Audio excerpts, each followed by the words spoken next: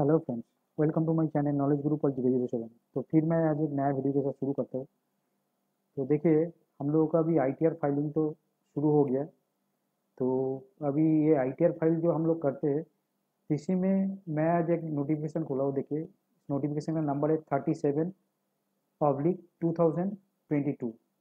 तो देखिए, ये नोटिफिकेशन नंबर है thirty seven oblique two thousand twenty two और ये जो नोटिफिकेशन है, इस नोटिफिकेशन पब्लिश हुआ था आपका twenty first April two thousand twenty two तो इसमें आईटीआर जो हम लोग फ़ाइल करते हैं, इसका कुछ क्राइटेरिया में कुछ बदलाव जो आया था,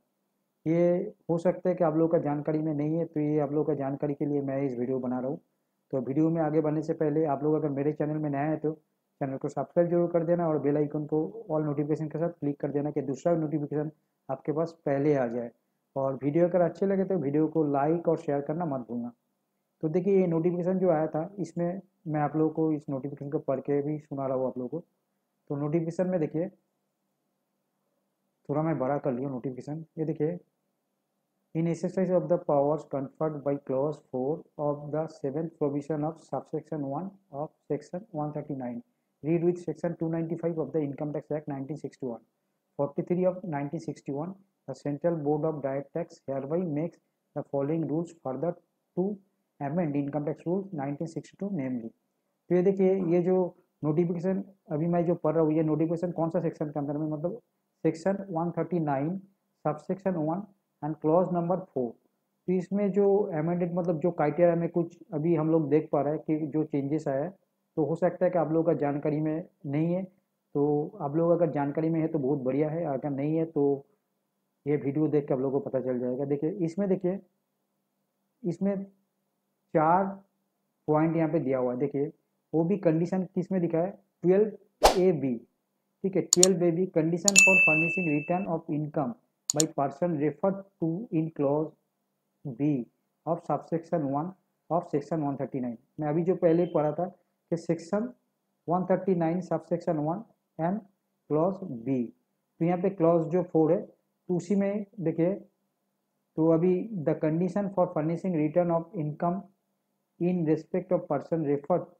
to in clause B of subsection one of section 139 in terms of clause four ठीक है? तो अब seventh provision of subsection one of section 139 shall be following namely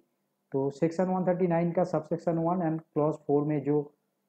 amendment जो मतलब थोड़ा बहुत चेंजेस आया है तो उसी के बारे में देखिए। फ़र्स्ट पॉइंट जो है तो ये अगर हम लोग पॉइंट पकड़ेंगे तो इसमें देखिए, ये हम लोग किस लिए किस किन लोगों के लिए बात करें? अगर हम लोग कंपनी और पार्टनरशिप फॉर्म को निकाल देते तो बाकी जो रहता है इंडिविजुअल एंड रेसिडेंट जो है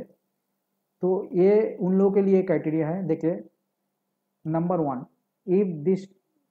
number one में है if is total sales turnover or gross receives as the case may be in the business exceed sixty lakhs rupees during the previous year और तो क्या बोला? आपका जो टोटल सेल्स है, उसका टर्नओवर और ग्रॉस रिसीव अगर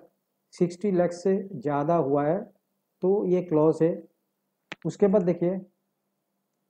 if is total gross receive in profession exceed 10 lakhs rupees during the previous year और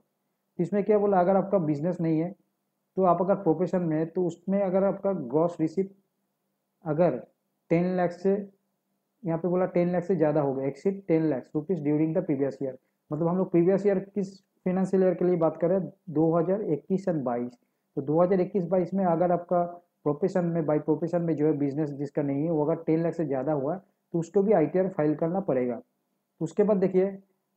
if the aggregate of tax deducted at source and tax collected at source during the previous year in the case of person in twenty five thousand rupees or more तो इसमें देखिए number three में क्या बोला गया? आप मान के चलिए कि आप अगर, आपका अगर कोई टी डी एस काटा है या आप टी सी एस काटा है मतलब आप किसी का टैक्स कलेक्ट किया है या तो आपसे कोई टी डी एस काट दिया है तो वो अगर फिनेंशियल ईयर का मतलब जो ड्यूरिंग दिस फिनेंशियल के बाद बोल रहे हैं तो उस प्रीवियस ईयर में अगर आपका ट्वेंटी फाइव थाउज़ेंड से ज़्यादा है तो तब भी आपको ये आई टी आर फ़ाइल करना पड़ेगा। और उसके बाद देखिए नंबर फोर में the deposit in one or more savings bank account of the person in aggregate is rupees fifty lakh or more during the previous year अगर आपका ये सब मान के चले कि बिज़नेस नहीं है, आपका प्रोफेशन में आप नहीं है, उसके बाद आपका एग्रीगेट टी डी एस और टी सी एस काटा नहीं है ट्वेंटी फाइव थाउज़ेंड से ज़्यादा बट आपका अकाउंट में अगर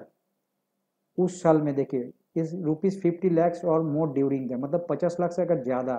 आपका बैंक में डिपॉजिट हुआ